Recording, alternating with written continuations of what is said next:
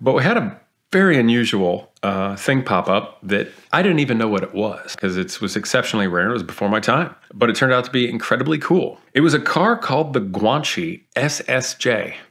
No, I had never heard of it, but it was a an American mid-engine car from the late 70s that was V8 powered, and I'm like, what?